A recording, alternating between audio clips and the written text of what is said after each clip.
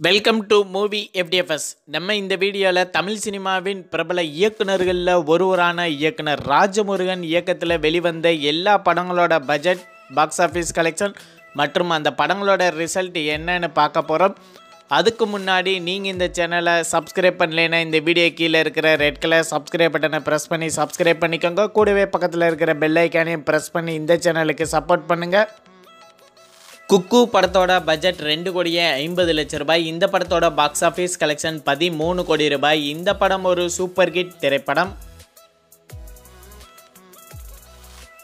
Joker படத்தோட budget ஒரு கோடியே எழுபத்தி ஐந்து லட்ச ரூபாய். இந்த படத்தோட பாக்ஸ் ஆஃபீஸ் கலெக்ஷன் பன்னெண்டு கோடியே நாற்பது லட்ச ரூபாய். இந்த படம் ஒரு சூப்பர் ஹிட் திரைப்படம். ஜிப்சி படத்தோட பட்ஜெட் ஏழு கோடி ரூபாய். இந்த படத்தோட பாக்ஸ் ஆஃபீஸ் கலெக்ஷன் பன்னெண்டு கோடியே முப்பத்தி ஐந்து லட்ச ரூபாய். இந்த படம் ஒரு ஃப்ளாப் திரைப்படம். இந்த வீடியோ உங்களுக்கு பிடிச்சிருந்தா லைக்ஸ் பண்ணுங்கள் ஷேர் பண்ணுங்கள் கமெண்ட் பண்ணுங்கள் இது போன்ற பாக்ஸ் ஆஃபீஸ் கலெக்ஷன் வீடியோக்களுக்கு இந்த சேனலை சப்ஸ்கிரைப் பண்ணிக்கோங்க.